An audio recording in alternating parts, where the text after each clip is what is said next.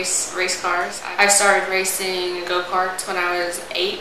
It is very competitive. the little kids are like when we were little, they are hardcore, definitely. I moved it to a bigger car after I raced legend cars, like to a legend car. It's a little bit bigger, and then I moved to a late model, and now we're in trucks. So. And the first time I ever raced for a late model, I set on, almost set on the pole for the very, my very first race, so that was pretty exciting for me. And the next year, I won the championship at Five Flag Speedway in 2008 when I was 14.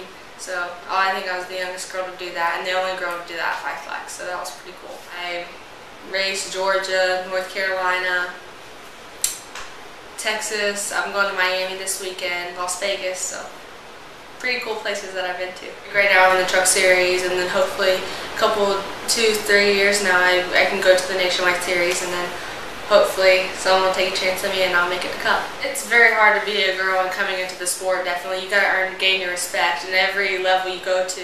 Never give up, because I remember when I started racing late models, everyone's like, why is she out there? She shouldn't be out there. She should be in a lower class. But now look at them, they're saying good job every week. So you just keep on following your dreams and hope for the best.